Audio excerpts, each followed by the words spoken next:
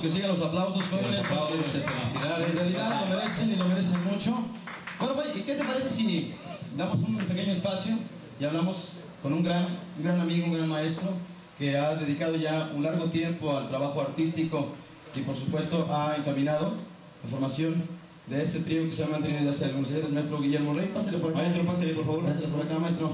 Gracias. De manera personal es muy grato darle por segunda ocasión la bienvenida a este gran amigo, un gran maestro, con quien tuvimos hoy el gusto de iniciar este, este proyecto de- de- del programa. Lo empezamos por ahí del día 3 de diciembre del año 2010 y el trío Semblanza Huasteca, el maestro Guillermo, nos hizo el favor de apadrinar Ah, caray. este primer programa. Es un dato que, que desconocía. no conocía, ¿no? Pues, Gracias por estar con nosotros. Maestro, ¿cuántos años de servicio ya lleva usted? De servicio en la práctica de docentes llevo, voy para 27 años. Ya menos se nos jubila. Ya, ya, ya falta poco. ¿Su amor por la música cómo nació? ¿O cómo fue? Pues la música siempre me ha gustado, siempre quise hacer música, pero no tuve esa oportunidad.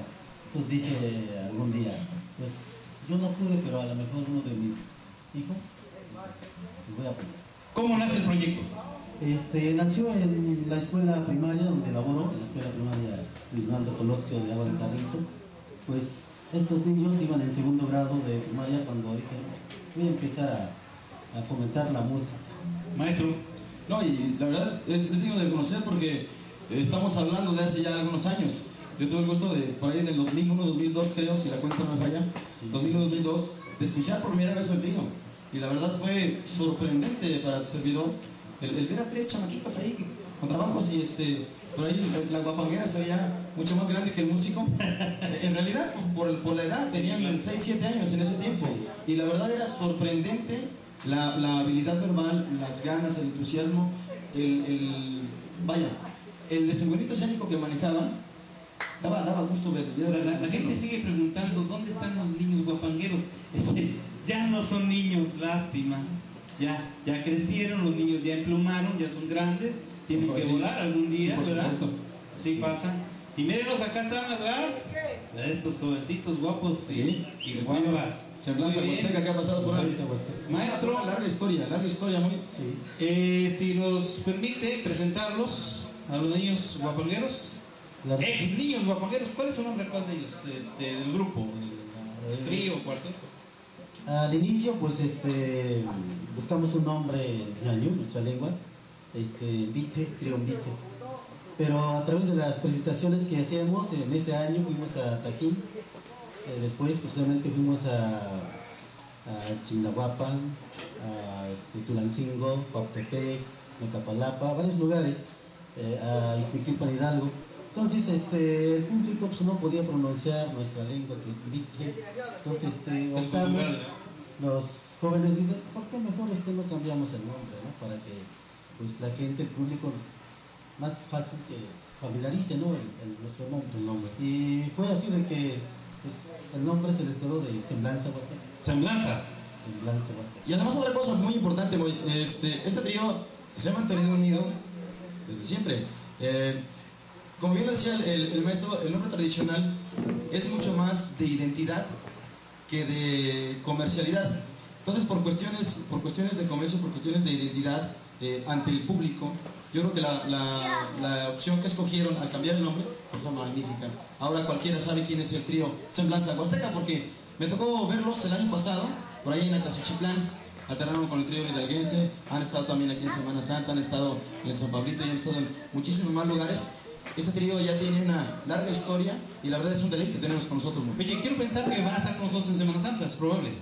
Pues ojalá, porque hasta ahorita no nos ha llegado la invitación y ojalá que las autoridades no nos tomen en cuenta porque hay buenos artistas en nuestra, nuestro municipio, hay artistas locales que de alguna manera lo debemos de dar ese fomento, ¿no? Este, pues ahora sí hacerle promoción a nuestra gente, a nuestros artistas, porque no hay de otra, sino que pues es, eh, es un lugar huasteco, es un- se conoce como cuna del guapango, pero pues no hay, no hay buenos tríos, entonces a lo mejor porque nosotros no queremos fomentar, ¿no? Eh, darle pues así eh, eh, promoción a nuestros, nuestros artistas. Pues esperamos verlo por acá en Semana Santa al trío Semblanza Huasteca. Que toca más o menos Así. ¡Que venga! ¡Échense una muchacha!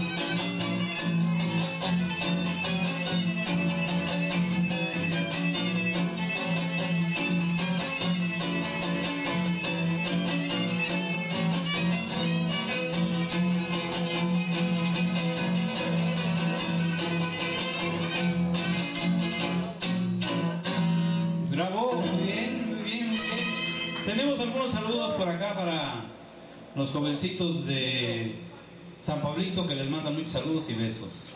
Y también saludos para Iriel. ¿Iriel? ¿Quién es? También te mandan saludos por ahí. Chico Sensación de San Pablito. Sí, por supuesto. Muy bien, ¿eh? ¿Cómo ves? Bueno, llegan saludos. Mira, tenemos por aquí que los huevos del centro invitan este sábado a un grandioso baile en la cancha del centro. Ah, pues ya está, ya está. Invitación para todos. Ya lo saben, los huevos del centro invitan a un grandioso baile este sábado. Plaza Benito Juárez, la plaza central de Pauatán. Muy bien, también tenemos saludos para el maestro Pedro Palma Malomino.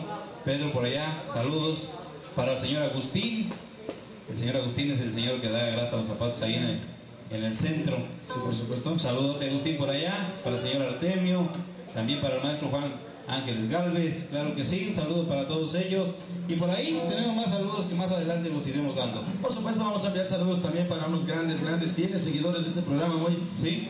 jueves a jueves están con nosotros y nos han preguntado por qué los saludos no llegan tan temprano o se distraen cuando van por el café, yo creo, pero un saludo muy especial para Karina y para toda la familia Anaya, la familia Anaya Vargas que nos están escuchando allá.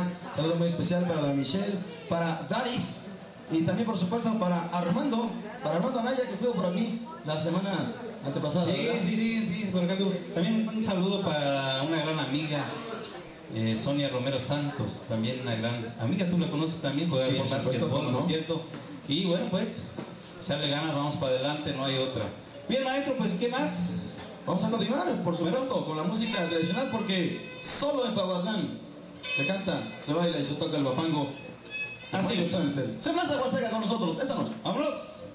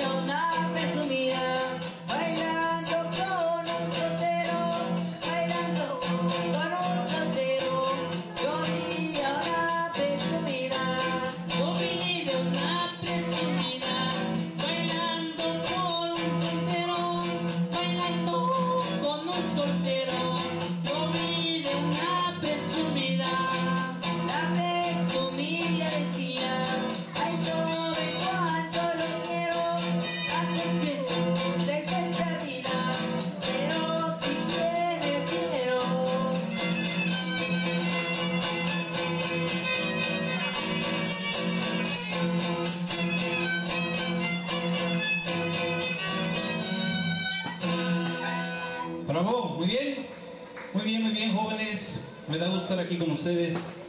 ¿Se pueden presentar, por favor? Este, yo me llamo Ariel Santos Trejo. Mi nombre es Alfanelli Santos Trejo. Este, yo me llamo Freddy Mendoza Ortiz. ¿Cuántos años llevan ya juntos? Pues yo, eh, yo y Iriel este, llevamos como siete años, más o menos. Y nuestra compañera Alfa lleva como dos años. Dos años, ¿sí? Qué excelente, qué excelente. Y además han estado unidos y han estado practicando. Pero bueno, algo que sí queremos mencionar una vez más, ¿no? Como lo hicimos en el primer programa que estuvieron los jóvenes con nosotros, es reconocer, reconocer todo este esfuerzo que se hace porque no es fácil, no es fácil mantener un grupo unido. Menos cuando se trata de jóvenes, en este caso, hay que reconocer todo ese esfuerzo, todo ese talento y por supuesto preguntarles a ustedes, ¿cómo le han hecho para mantener su grupo unido? Y Riel, por ejemplo. ¿Cómo lo han hecho para estar unidos? ¿Tienen diferencias? ¿Han tenido diferencias entre ustedes? ¿Se han enojado? Pues a veces, a veces nosotros no quieren seguir, pero pues yo les digo a veces que sigamos juntos, que ya, ya hemos avanzado bastante para, para venir todo abajo. Así así. Ok, muy bien, qué bueno que, qué bueno que piensen de esa manera, ¿no? Es difícil mantener un grupo maestro del fino, tú que andas en este... Sí, sí, bastante, bastante, ¿Sí? bastante. ¿Qué pasa? ¿Qué hay? ¿Por qué Eh, se desintegran? Bueno, normalmente puedo hablar de, de la experiencia un poquito ajena a lo que es el, el trabajo huasteco. Yo como músico de mariachi llevo 18 años. Eh, este es el tercer grupo en el que yo estoy.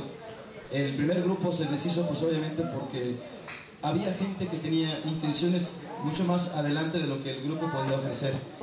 Y los que no, pues lo echaron abajo, ¿no? En, la segunda ocasión pasó algo similar. Y ahorita en el grupo que estoy, este, el punto medular de, la unión siempre es la, buena comunicación. De repente a mí me interesa algo que a los demás no. Y bueno, pla- platicarles, ¿saben qué? A mí me interesa esto, me interesa saber este, eh, esta melodía, me interesa a lo mejor crear una canción, a lo mejor inventar una cosa en particular, y a lo mejor ellos no quieren. Pero buscar un equilibrio. La única, la, única, la única estrategia real para poder mantener un grupo unido, sea que sea, se llama actitud actitud positiva. Si alguien tiene una actitud negativa, hay que explicarle por qué, por qué está mal en esa actitud. Si alguien tiene una actitud positiva, pero es una actitud positiva exagerada, hay que explicarle qué es lo que está pasando, que está rompiendo con un límite, con un parámetro que es necesario acomodar. Entonces yo creo que esa sería la clave.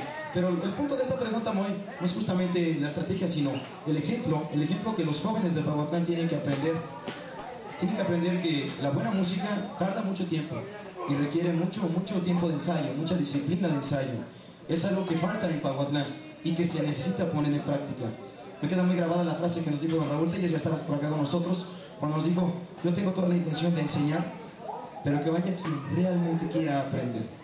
Entonces, quien realmente quiera aprender, pues que siga el ejemplo de estos jóvenes. Bien, este, jóvenes, pues felicitarlos. Sabemos que no es fácil, la música no es fácil, estar en este escenario no es fácil. ¿Qué tendría yo que hacer o qué les recomendarían ustedes como jóvenes, a los jóvenes de su edad, para poder integrar un grupo? ¿Qué les dirían? Oye, ponte a ensayar, ponte a tocar, acércate a alguien. ¿Qué pasa? Porque hay muchos jóvenes aquí que nos están viendo que tienen esa intención también de poder aprender a tocar algo. ¿Ustedes qué les dirían?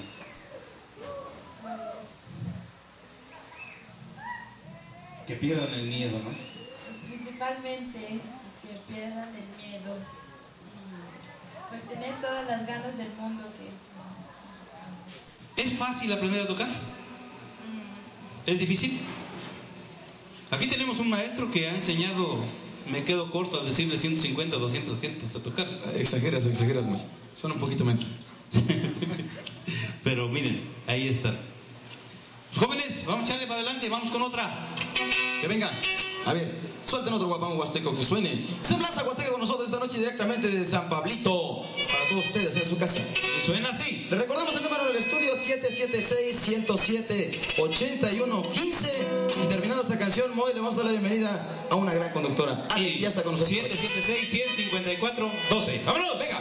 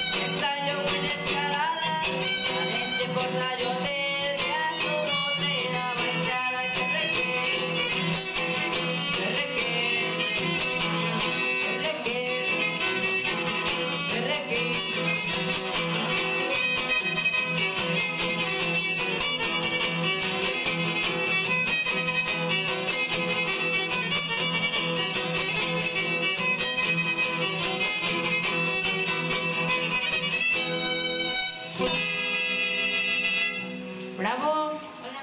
Eh, este, mm, llegaron más saludos para María José de parte de Hugo y al doctor Meditón de parte de su hi- ahijada. perdón. Saludos. Saludos para Lynn que cumpla muchos años más y, y que las invita al pastel. También a Ilse, Ari, Marlene, Jessica, Jose y a la banda del Cobaep. Excelente, Ale, gracias, bienvenida esta noche. Nos da gusto tenerte con nosotros. Queremos aprovechar tu presencia para mandar un saludo muy especial a Dianita, que tuvo una emergencia, tuvo que salir el día de hoy a Puebla. Ojalá ya haya regresado con bien, nos esté escuchando. Un saludo, un abrazo muy fuerte para ti, Dianita, y también para Chelita, que no nos acompañó esta noche por cuestiones de salud y como lo hemos dicho, la salud y la educación. Pues primero, esperamos que Chelita se encuentre muy bien, que nos acompañe el próximo jueves para continuar con este hermoso programa. Y vámonos con más, más música de este trío, de este trío de San Pablito. Estamos invitando una vez más a los huehues, los huehues de San Pablito para que nos deleiten con un baile final antes de despedir este programa. Les recordamos el número en el estudio. ¿Cuál es, Ale? 776-107-8115. Y por supuesto, hemos recibido un saludo muy muy especial de una gran, de una gran admiradora del programa, participante del taller de niños guapangueros de la Casa de Cultura. Ella es la pequeña Daris, que nos ha enviado un saludo cordial a la Casa de Cultura. Gracias Daris por ese saludo. Y vamos. Vámonos con más. Semblanza Huasteca con nosotros. Venga por ahí. Que sí.